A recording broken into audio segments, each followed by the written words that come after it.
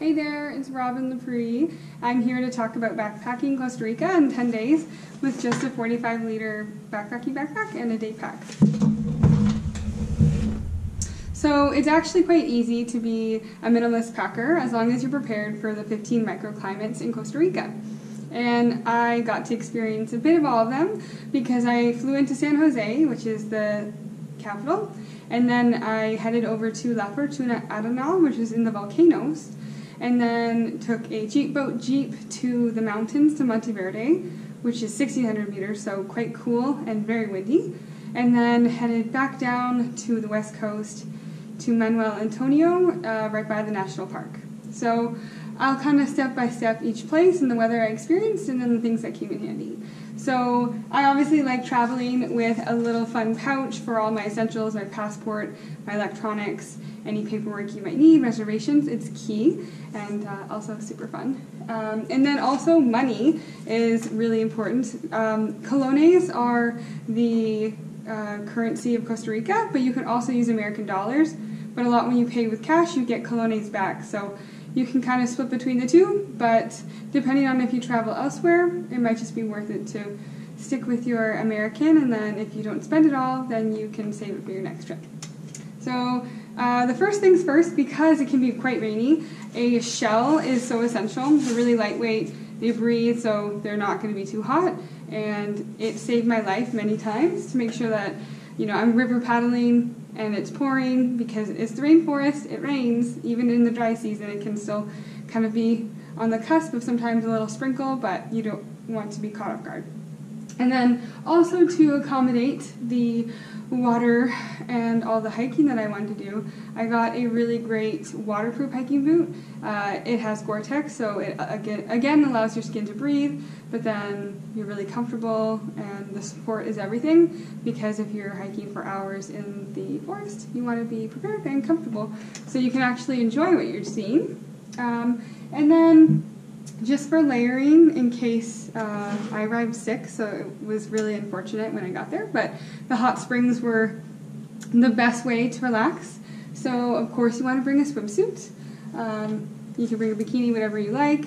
Uh, one thing to keep in mind, depending where you go, uh, some of the material, like the rocks and stuff, might ruin your swimsuit a bit, so maybe don't bring your favorite one. Uh, and then because you're quite close to the equator compared to where I live in Canada, I always have a swim t-shirt so I can stay in the sun even during peak times and not feel like I have to worry about burning because it definitely happens because you're sweating so much, all the sunscreen just keeps coming off unless you keep reapplying and covering up. Uh, and then obviously you want to bring a pair of shorts. I literally brought uh, this pair of shorts and then I brought two other uh, athletic fabric ones that were high-waisted so they looked cute but they were actually just super functional. For other bottoms, I brought a pair of cotton lightweight pants.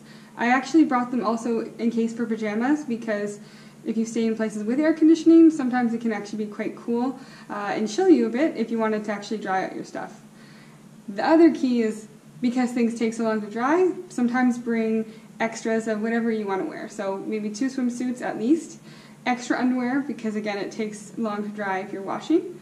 Uh, like I washed in the sink and I hung it to dry. It took a couple days. And then I brought one pair of jeans that I actually wore on the plane because I left in December in Canada.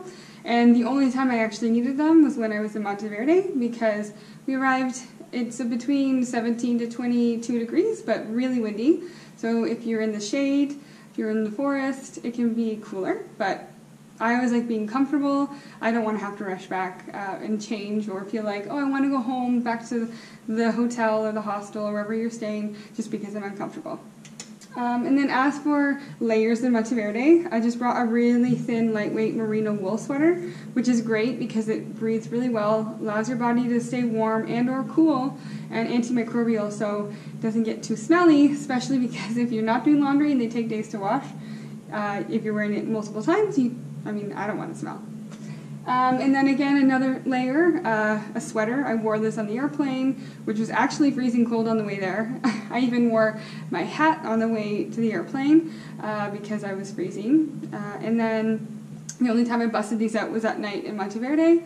Um, otherwise, it was quite warm.